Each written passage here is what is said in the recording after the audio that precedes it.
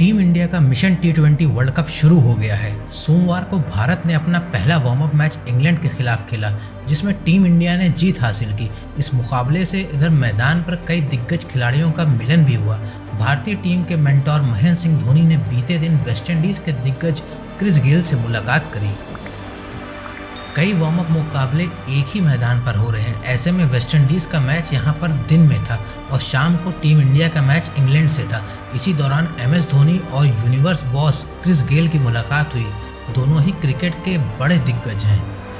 M S Dhoni यहाँ पर Chennai super Kings के अपने साथी ड्वेन ब्रावो से भी मिले।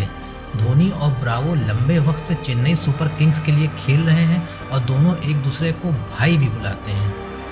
वहीं टीम इंडिया के युवा खिलाड़ी ऋषभ पंत ने निकोलस पूरन से मुलाकात करी।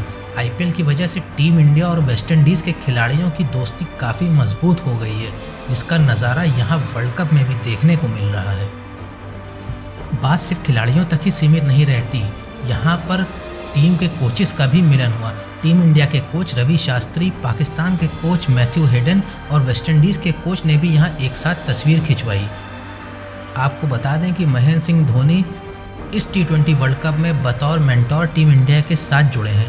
एम एस धोनी, कप्तान विराट कोहली और टीम के अन्य खिलाड़ियों के बीच बढ़िया केमिस्ट्री देखने को मिल रही है। प्रैक्टिस सेशन में भी एम एस धोनी ने टीम के युवा खिलाड़ियों के साथ वक्त बिताया है। वीडियो को लाइक कमेंट शेयर करें चैनल को सब्सक्राइब करें। शुक्रिया।